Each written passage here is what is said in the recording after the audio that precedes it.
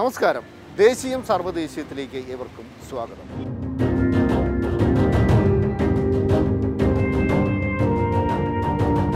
രാജ്യത്തിന്റെ പ്രഥമ പൗര ഒരു പട്ടികവർഗക്കാരിയാണ് എന്നാൽ പട്ടികവർഗക്കാർക്കെതിരായ അതിക്രമങ്ങൾ കുറയുകയല്ല കുതിച്ചുയരുകയാണ് ചെയ്യുന്നത്. ബി ജെ പി ഭരിക്കുന്ന സംസ്ഥാനമാണ് മധ്യപ്രദേശ്. സംഘപരിവാറിന് ഏറ്റവും ശക്തിയുള്ള സംസ്ഥാനങ്ങളിൽ ഒന്നാണ് ഈ മധ്യപ്രദേശ്. പോയവാരത്തിൽ അവിടെയുണ്ടായ ഒരു സംഭവം ഏവരെയും നടുക്കുന്നതാണ് मैं द्रौपदी मुर्मू ईश्वर की शपथ लेता हूँ कि ईश्वर की शपथ लेती हूँ कि मैं श्रद्धापूर्वक मैं श्रद्धापूर्वक भारत के राष्ट्रपति के पद का कार्यपालन करूंगी भारत के राष्ट्रपति पद का कार्यपालन करूंगी सदा अपनी पूरी योग्यता से ദ്രൗപദി മുർമു രാഷ്ട്രപതിയായപ്പോൾ കക്ഷി രാഷ്ട്രീയ ഭേദമന്യേ എല്ലാവരും സന്തോഷിച്ചു. കാരണം രാജ്യത്തെ പട്ടികവർഗക്കാർ ഇന്നും പ്രാന്തവൽക്കരിക്കപ്പെട്ടവരാണ്. ദ്രൗപദി മുർമുവിലൂടെ അവർക്ക് മോചനമുണ്ടാകുമെന്ന് രാജ്യം പ്രതീക്ഷിച്ചു. എന്നാൽ സംഭവിച്ചത് മറിച്ചാണ്. നമുക്ക് ബി ജെ പി ഭരിക്കുന്ന മധ്യപ്രദേശിലേക്ക് പോകാം. മധ്യപ്രദേശിൽ നിന്ന് ബി ജെ പിയുടെ കോട്ടക്കൊത്തളമാണ് അവിടുത്തെ ഒരു ബി ജെ പി നേതാവിനെ പരിചയപ്പെടാം. പേര് പർവേ ശുക്ല. എം എൽ എയും ബി ജെ പി നേതാവുമായ കേദാർ ശുക്ലയുടെ സഹായിയായി ജോലി ചെയ്യുന്നു. പർവേശ് ശുക്ലയോട് ഒരു ആദിവാസി ബാലൻ ചെയ്ത ജോലിക്ക് കൂലി ചോദിച്ചു. പർവേശിന് അരിശം മൂത്തു. ആ ആദിവാസി ബാലന്റെ മുഖത്ത് മൂത്രമൊഴിച്ചാണ് അരിശം തീർത്തത്.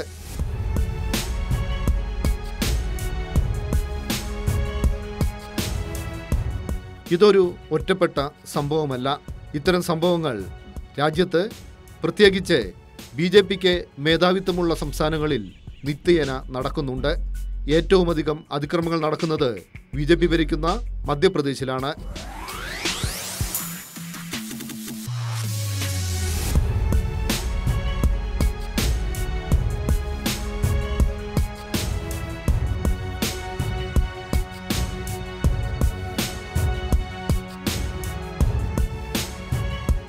അടുത്തിടെ മോദി മധ്യപ്രദേശിലെത്തി അവിടെ വെച്ച് മോദി കുറ്റപ്പെടുത്തിയത് മധ്യപ്രദേശിലെ ദുഷ്ചെയ്തികളെയല്ല കേരളത്തെയാണ് अब जैसे मैंने सुना है केरल में अड़ियन काट्टू नायकन कोचुवेलान मालासार तेन कुरुम्बन जेनु कुरुम्बन वेट्टा कुरुमन मलय पंडारम ये जातियों को विकास की रकम में पीछे छोड़ दिया गया പക്ഷേ ഇത്തരം കാഴ്ചകൾ ഇന്ന് കേരളത്തിൽ എവിടെയും കാണില്ല ഇതെല്ലാം ഏറ്റവും അധികം കാണുന്നത് ബി ജെ പി ഭരിക്കുന്ന സംസ്ഥാനങ്ങളിലാണ്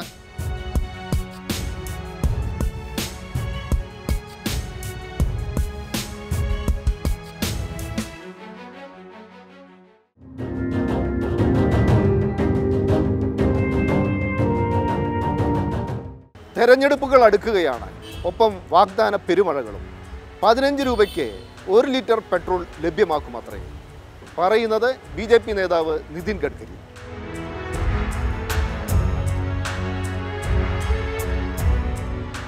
രാജസ്ഥാൻ നിയമസഭാ തെരഞ്ഞെടുപ്പിലേക്ക് നീങ്ങുകയാണ്. ബി ജെ പി പ്രാഥമിക പ്രചാരണ പ്രവർത്തനങ്ങൾ ആരംഭിച്ചിരിക്കുന്നു. പോയ വാരത്തിൽ പ്രതാപ്ഗഡിലെ ഒരു റാലിയെ കേന്ദ്രമന്ത്രി നിതിൻ ഗഡ്കരി അഭിസംബോധന ചെയ്തു അധികം താമസിയാതെ പെട്രോൾ ലിറ്ററിന് പതിനഞ്ച് രൂപ നിരക്കിൽ വിതരണം ചെയ്യുമെന്നതായിരുന്നു നിതിൻ ഗഡ്കരിയുടെ വാഗ്ദാനം अब सब गाड़ियां किसानों ने तैयार किए हुए इथेनॉल पर चलेगी 60 परसेंट इथेनॉल 40 परसेंट बिजली उसका अगर एवरेज पकड़ा जाएगा तो पंद्रह रुपए लीटर पेट्रोल का भाव होगा जनता का भला होगा किसान ऊर्जा दाता बनेगा കുറച്ചു കാലം പിറകോട്ട് പോകാം രണ്ടായിരത്തി പതിനാലിലെ ലോക്സഭാ തെരഞ്ഞെടുപ്പ് അമ്പത് രൂപയ്ക്ക് ഒരു ലിറ്റർ പെട്രോൾ വിതരണം ചെയ്യുമെന്നതായിരുന്നു ആ തെരഞ്ഞെടുപ്പിലെ ബി ജെ പിയുടെ ഒരു പ്രധാന വാഗ്ദാനം രണ്ടായിരത്തി പതിനാലിൽ മോദി പ്രധാനമന്ത്രിയാകുമ്പോൾ ഒരു ലിറ്റർ പെട്രോളിന്റെ വില അറുപത്തഞ്ച് രൂപ അന്ന് അന്താരാഷ്ട്ര വിപണിയിൽ ക്രൂഡ് ഓയിൽ വില ബാരലിന് തൊണ്ണൂറ്റെട്ട് ഡോളർ ആയിരുന്നു. പെട്രോളിന് മേലുള്ള കേന്ദ്ര നികുതി ലിറ്ററിന് ഒമ്പത് രൂപ നാൽപ്പത്തെട്ട് പൈസ. ഇപ്പോൾ രാജ്യാന്തര വിപണിയിൽ അസംസ്കൃത എണ്ണയുടെ വില കുറഞ്ഞിരിക്കുകയാണ്. ക്രൂഡ് ഓയിൽ വില ബാരലിന് എഴുപത്തിമൂന്ന് ഡോളർ മാത്രം. എന്നാൽ ഇന്ത്യയിൽ എണ്ണവില ലിറ്ററിന് ശരാശരി നൂറ്റെട്ട് രൂപയാണ്. പെട്രോളിന് മേലുള്ള കേന്ദ്ര നികുതി ലിറ്ററിന് മുപ്പത്തിരണ്ട് രൂപ എൺപത്തൊമ്പത് പൈസയായി ഉയർന്നിരിക്കുന്നു. രാജ്യാന്തര വിപണിയിൽ എണ്ണവില കുറഞ്ഞിട്ടും ഇന്ത്യയിൽ എണ്ണവില കൂടി. പെട്രോളിന് മേലുള്ള കേന്ദ്ര നികുതി രണ്ടിരട്ടിയിലേറെ വർദ്ധിപ്പിച്ചു. ഇതെല്ലാം ചെയ്തവരാണ് പതിനഞ്ച് രൂപയ്ക്ക് ഒരു ലിറ്റർ പെട്രോൾ വിതരണം ചെയ്യുമെന്ന് തെരഞ്ഞെടുപ്പ് കാലത്ത് പറയുന്നത്.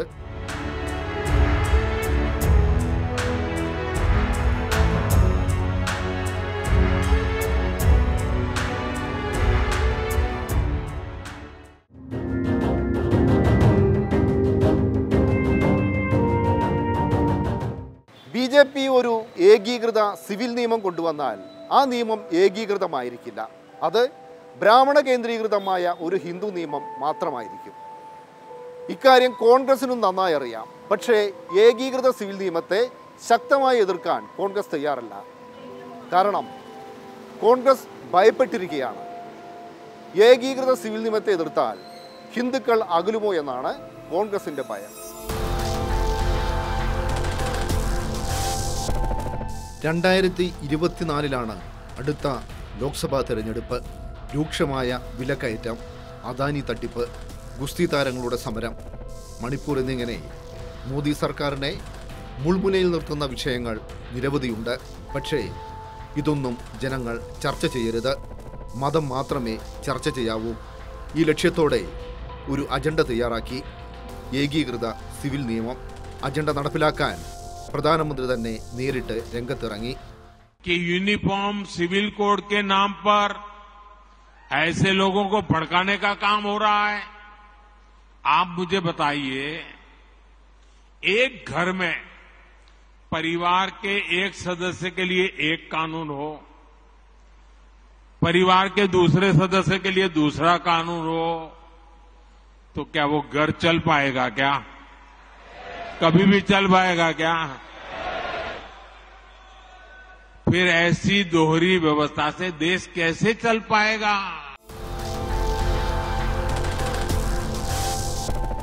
ഒരു കുടുംബത്തിലെ പലർക്കും പല നിയമങ്ങളായാൽ എങ്ങനെ ശരിയാകും എന്നതാണ് പ്രധാനമന്ത്രിയുടെ ചോദ്യം വ്യക്തി നിയമങ്ങൾ മാത്രമല്ല രാജ്യത്തെ പല നിയമങ്ങളും ഏകീകൃതമല്ല രാജ്യത്തിന്നും ഒരു ഏകീകൃത ധനകോഡില്ല ഹിന്ദു കൂട്ടുകുടുംബങ്ങൾക്ക് മാത്രമായി എച്ച് യു എഫ് എന്ന പേരിൽ പ്രത്യേക നികുതിദായക വിഭാഗമുണ്ട്. ഈ വിഭാഗത്തിന് മാത്രമായി ബജറ്റുകൾ നികുതി ഇളവുകൾ പ്രഖ്യാപിക്കാറുണ്ട്. എന്തിനാണ് ഹിന്ദു കൂട്ടുകുടുംബങ്ങൾക്ക് മാത്രമായി ഈ നികുതി ഇളവ് പരിമിതപ്പെടുത്തുന്നത്? ഇത് പിൻവലിക്കണമെന്ന ആവശ്യം പലതവണ ഉയർന്നതാണ്. പക്ഷേ മോദി സർക്കാർ തയ്യാറായില്ല. ഇനി മുത്തലാഖ് നിയമം നോക്കാം. നിയമവിരുദ്ധമായി ഭാര്യയെ ഉപേക്ഷിക്കുന്നവർ മുസ്ലിങ്ങളെങ്കിൽ മൂന്ന് വർഷത്തെ തടവ് ശിക്ഷ ലഭിക്കും. നിയമവിരുദ്ധമായി ഭാര്യയെ ഉപേക്ഷിക്കുന്നവർ മുസ്ലിങ്ങൾ അല്ലെങ്കിൽ അവർക്ക് ശിക്ഷയില്ല. ഇതെല്ലാം ചെയ്തു കൂട്ടുന്നവരാണ് ഇപ്പോൾ ഏകീകൃത സിവിൽ നിയമം കൊണ്ടുവരുന്നത്. മുസ്ലിങ്ങൾ ക്രിസ്ത്യാനികൾ എന്നിവരെ കൂടാതെ ഗോത്ര വിഭാഗങ്ങൾക്കും തനത് വ്യക്തി നിയമങ്ങളുണ്ട്. ഏകീകൃത വ്യക്തി നിയമം നടപ്പിലാക്കിയാൽ അവ അസാധുവാകും. രാജ്യത്താകെ അഞ്ചു കോടി ഗോത്രവർഗക്കാരുണ്ട് അവരെ പിണക്കാൻ ബി തയ്യാറല്ല. അതുകൊണ്ട് തന്നെ ഗോത്രവിഭാഗങ്ങളെ ഒഴിവാക്കിക്കൊണ്ടുള്ള ഒരു ഏകീകൃത വ്യക്തി നിയമം കൊണ്ടുവരാനാണ് മോദി സർക്കാരിന്റെ നീക്കം. ഏക സിവിൽ കോഡ് എന്നുള്ളത് ഭരണഘടനയിൽ ഉൾപ്പെടുത്തിയിട്ടുള്ള വിഷയമാണ്. ഭരണഘടന പ്രാബല്യത്തിൽ വന്ന അന്നു മുതൽ നമുക്ക് പരിചയമുള്ള വിഷയവുമാണ്. സുപ്രീം കോടതി തന്നെ പല പ്രാവശ്യം പല കേസുകളിലും ഏക സിവിൽ കോഡ് രൂപീകരണത്തിന്റെ അവസ്ഥ എന്ത് എന്ന ചോദ്യം ചോദിച്ചിട്ടുമുണ്ട്. ലോ കമ്മീഷനും പ്രാവശ്യം ഈ വിഷയം ചർച്ച ചെയ്തിട്ടുണ്ട്. പക്ഷേ ഓരോ തവണയും ഇത് ഈ വിഷയം സജീവമാകുമ്പോഴൊക്കെ എതിർപ്പ് ഉണ്ടാകുന്നുണ്ട് ആ എതിർപ്പിനെ തുടർന്ന് അത്ര അനായാസ അനായാസം ചെയ്യാൻ കഴിയാത്തൊരു കാര്യമെന്ന നിലയ്ക്ക് ആ വിഷയം മാറ്റിവെക്കുകയാണ് പതിവ്. ഇപ്പോൾ രണ്ടായിരത്തി ഇരുപത്തിനാലിൽ പൊതു തെരഞ്ഞെടുപ്പ് വരുന്നു. ബി ജെ പിയുടെ പല വാഗ്ദാനങ്ങളും അവർ നടപ്പാക്കിക്കൊണ്ടിരിക്കുന്നു. അയോധ്യ നമുക്കറിയാം. പുതിയ പാർലമെന്റ് മന്ദിരത്തിന്റെ ഉദ്ഘാടന വേളയിലും സംഭവിച്ച കാര്യങ്ങൾ നമ്മുടെ ഓർമ്മയിലുണ്ട്. അപ്പോൾ അവരുടെ ഒരു പ്രധാനപ്പെട്ട അജണ്ടയാണ് അല്ലെങ്കിൽ അജണ്ടയുടെ ഭാഗമാണ് ഏക സിവിൽ കോഡ് എന്നുള്ളത്. അത് ഒരു മതവിഭാഗത്തെ മെരുക്കിയെടുക്കുക നിയന്ത്രിക്കുക അവർ ആചാരപരമായോ വിശ്വാസപരമായോ അനുഭവിച്ചു വരുന്ന പല കാര്യങ്ങൾ ആനുകൂല്യങ്ങളും അവർക്ക് നിഷേധിക്കുക. അങ്ങനെയൊക്കെയുള്ള ദുരുദ്ദേശങ്ങൾ അതിന് പിന്നിൽ ഉണ്ട് എന്നുള്ളത് കൊണ്ടാണ് വ്യാപകമായ എതിർപ്പ് ഈ വിഷയത്തെക്കുറിച്ച് ഇപ്പോൾ ഉണ്ടായിരിക്കുന്നത്. സമുദായങ്ങളെ മതവിഭാഗങ്ങളെ അല്ലെങ്കിൽ ജനതയെ ആകെ തന്നെ വിഭജിക്കുക എന്ന തന്ത്രത്തിന്റെ ഭാഗമായാണ് ഏക സിവിൽ കോഡിനെക്കുറിച്ചുള്ള ഇപ്പോഴത്തെ നീക്കങ്ങളെ പലരും കാണുന്നത്. കേരളത്തിൽ ഏകീകൃത സിവിൽ കോഡിനെതിരെ കോൺഗ്രസ് നേതൃത്വം ശക്തമായി രംഗത്ത് വന്നു. പക്ഷേ ഈ സമീപനം ദേശീയ തലത്തിൽ കാണാനില്ല. സോണിയാഗാന്ധിയോ രാഹുൽ ഗാന്ധിയോ പ്രിയങ്ക ഗാന്ധിയോ ഇതുവരെ പ്രതികരിച്ചിട്ടില്ല. എന്നാൽ ഏകീകൃത സിവിൽ നിയമത്തെ അനുകൂലിച്ച് ഹിമാചൽ പ്രദേശിലെ പ്രമുഖ കോൺഗ്രസ് നേതാവും മന്ത്രിയുമായ വിക്രമാദിത്യ സിൻഹ രംഗത്ത് വന്നു. സിൻഹയ്ക്കെതിരെ തിരുത്തൽ നടപടിയൊന്നും കോൺഗ്രസ് കൈക്കൊണ്ടിട്ടില്ല. കാരണം കോൺഗ്രസ് ഇപ്പോഴും മുറുകെ പിടിച്ചിരിക്കുന്നത് മൃദുഹിന്ദുത്വ സമീപനങ്ങളാണ്.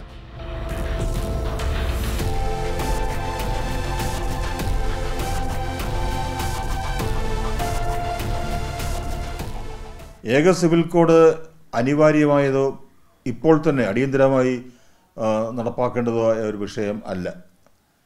ഭരണഘടനയുടെ മാർഗനിർദ്ദേശക തത്വങ്ങൾ എന്ന് പറഞ്ഞാൽ അവയെ നിസ്സാരമായി തള്ളിക്കളയാൻ കഴിയില്ല.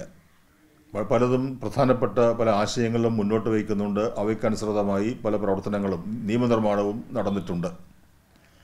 ഡയറക്റ്റീവ് പ്രിൻസിപ്പിൾസിൽ ഓരോന്ന് പറയുമ്പോഴും അവിടെ എല്ലാം ഉപയോഗിച്ചിരിക്കുന്ന വാക്കുകൾ ദ സ്റ്റേറ്റ് ഷാൽ എൻഡവർ എന്നാണ്.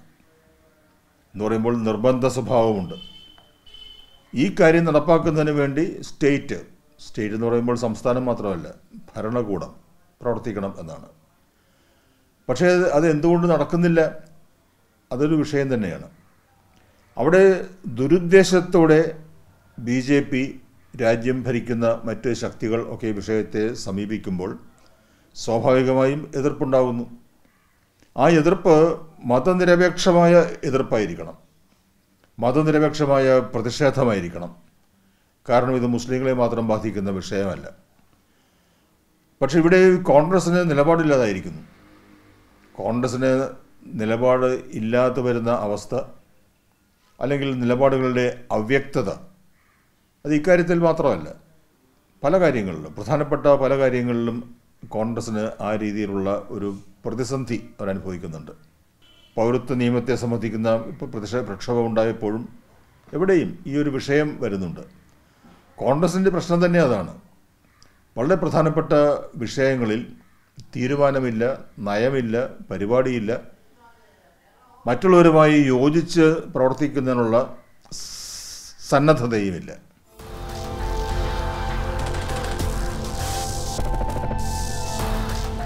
കോൺഗ്രസിന് മുന്നിൽ വലിയ പാഠങ്ങളുണ്ട്. ബാബറി മസ്ജിദാണ് മികച്ച ഉദാഹരണം.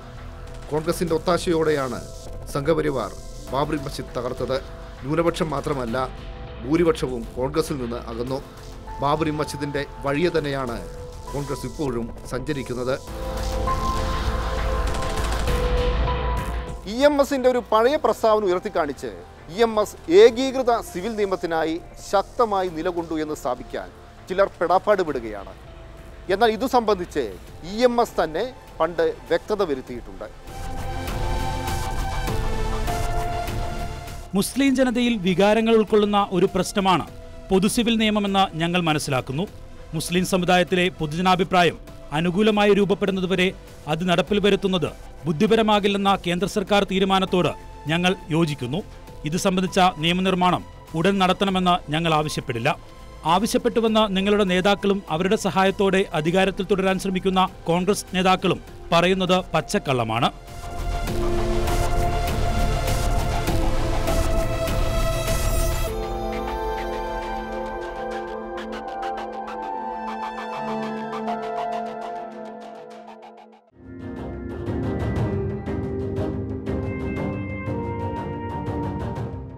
രണ്ടായിരത്തി ഇരുപത്തി മൂന്ന് ലോകം ചെറുധാന്യങ്ങളുടെ വർഷമായി ആഘോഷിക്കുകയാണ്.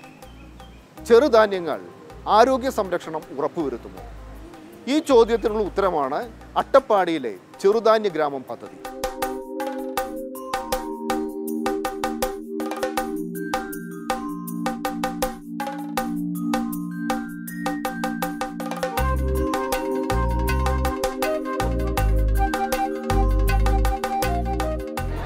There are several reasons. Um, one is that uh, millets have high nutritional content. If you look at different millets like ragi, jowar, bajra, and a whole lot of others, foxtail millet, and all that, and you analyze the amount of protein and amount of iron and other calcium, other micronutrients, you'll find that compared to rice and wheat, these millets actually have higher protein and also very high micronutrients. Some of them are high in calcium, others are high in iron and other vitamins. So that is one reason. So it's good for health. The second thing is that they, uh, if you have them unrefined, then unlike rice, which has a very low glycemic index, these have a high glycemic index. That means that they would like they would prevent things like diabetes from happening and they're also good for people with diabetes because they're slowly absorbed so you don't get a spike in the blood sugar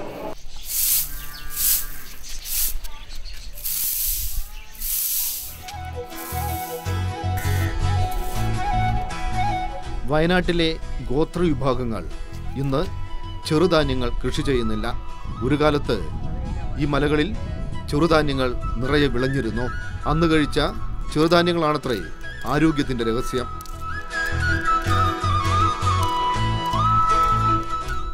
അതൊക്കെ തിന്ന് തിന്നപ്പോൾ നല്ലതാണ്. രോഗമില്ല. ഇപ്പം നമുക്ക് ഇപ്പം നടക്കാൻ പറ്റില്ല രോഗമായിരുന്നു. കാലിലൊക്കെ പർവത പർവതം വാദം ഇപ്പൊ ഒന്നും കഴിക്കാറില്ല. ഇപ്പൊ കഴിക്കാറില്ല. ഈ ഇപ്പൊ എന്താണ് കൃഷി എന്താ ചെയ്യാറുള്ളത്? നെല്ല് തന്നെ കൃഷി ചെയ്യും നെൽകൃഷി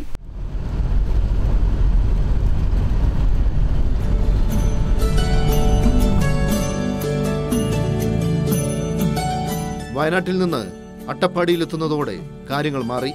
സംസ്ഥാന സർക്കാർ നടപ്പിലാക്കുന്ന ചെറുധാന്യ ഗ്രാമം പദ്ധതിക്ക് കീഴിൽ ഇവിടെ ആദിവാസികൾ ചെറുധാന്യങ്ങൾ കൃഷി ചെയ്യുന്നു.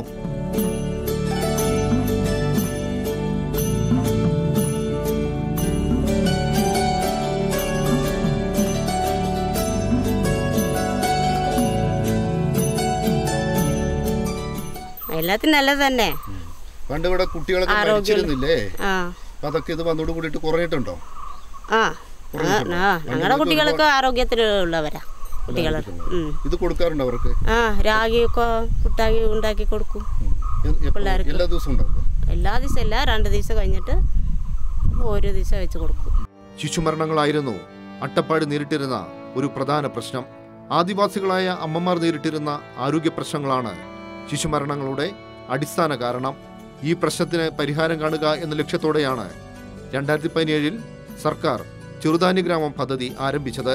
പദ്ധതി ആദിവാസികളുടെ കാർഷിക രീതികളിൽ മാത്രമല്ല ഭക്ഷണ രീതികളിലും മാറ്റമുണ്ടാക്കി.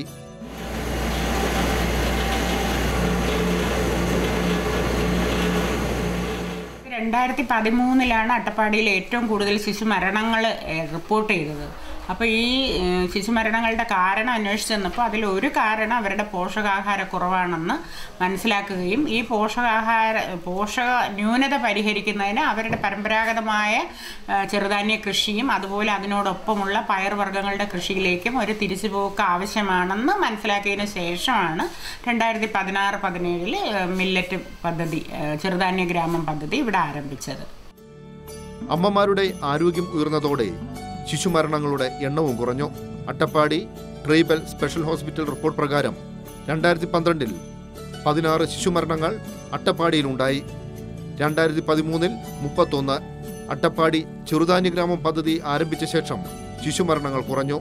രണ്ടായിരത്തി ഇരുപതിൽ പത്ത് രണ്ടായിരത്തി ഇരുപത്തൊന്നിൽ എട്ട് രണ്ടായിരത്തി ഇരുപത്തിരണ്ടിൽ പന്ത്രണ്ട്. ആയുർദൈർഘ്യം ശിശുമരണം മാതൃമരണം തുടങ്ങിയ അടിസ്ഥാന ആരോഗ്യ സൂചികകളിലെല്ലാം കേരളം വളരെ മുന്നിലാണ്. എന്നാൽ ജീവിതശൈലി രോഗബാധിതരുടെ എണ്ണം ഉയരുകയാണ്. ചെറുധാന്യങ്ങൾ ഭക്ഷണശീലങ്ങളുടെ ഭാഗമാക്കിയാൽ ജീവിതശൈലി രോഗങ്ങൾ തടയാനാകും.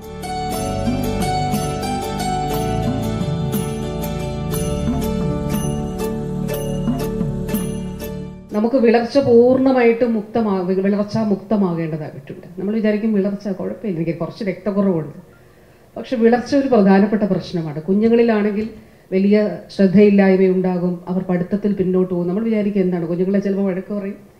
പക്ഷേ അവരുടെ വിളർച്ച കൊണ്ട് ഉണ്ടാകുന്ന ശാരീരികമായ പ്രശ്നങ്ങളിൽ നിന്ന് അവർക്ക് അങ്ങനെ ഉണ്ടാകുന്നതായിരിക്കും. ഇപ്പോൾ സ്ത്രീകളെ സംബന്ധിച്ചിടത്തോളം നമുക്ക് ക്ഷീണം കിതപ്പ് സ്ത്രീകളാണെങ്കിലും പുരുഷന്മാരാണ്. കിതപ്പ് നമുക്ക് കുറച്ച് നടക്കാൻ പറ്റില്ല. ഉടനെ തന്നെ കിതപ്പ്. പരിശോധിച്ച് നോക്കുമ്പോൾ ഹാർട്ടിന് അസുഖമില്ല എന്നുള്ളത് കാണും. അപ്പോൾ അനീമിക് ആയിരിക്കും.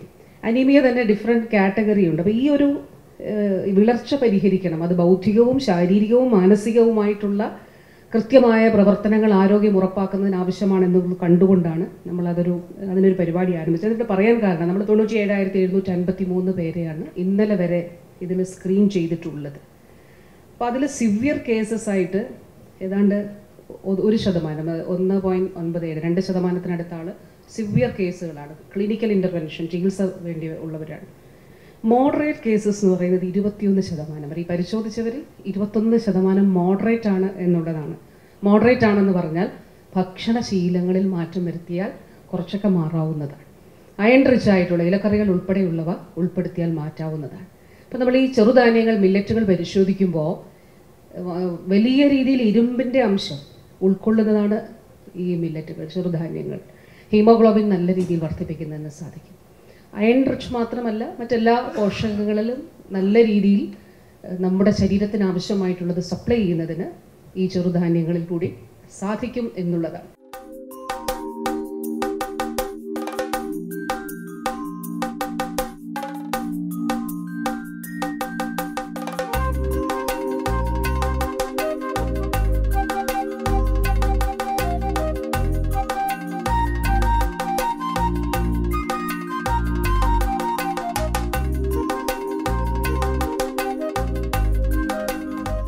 ബി ജെ പിയുടെ മധ്യപ്രദേശ് മോഡൽ വികസനം എന്താണെന്ന് എല്ലാവരും കണ്ടു കഴിഞ്ഞു. ഗുജറാത്തിലാകട്ടെ കാര്യങ്ങൾ മറ്റൊരു വിധത്തിലാണ്. അവിടെ പുതിയതായി നിർമ്മിച്ച റോഡുകൾ പാലങ്ങളെല്ലാം തന്നെ പൊളിഞ്ഞുകൊണ്ടിരിക്കുകയാണ്. വികസനത്തിന്റെ ഈ ഗുജറാത്ത് മാതൃക എവിടെയും ആവർത്തിക്കാതിരിക്കട്ടെ. ഇത്തവണത്തെ ദേശീയം സർവദേശീയം ഇവിടെ സമാപിക്കുന്നു. നന്ദി നമസ്കാരം.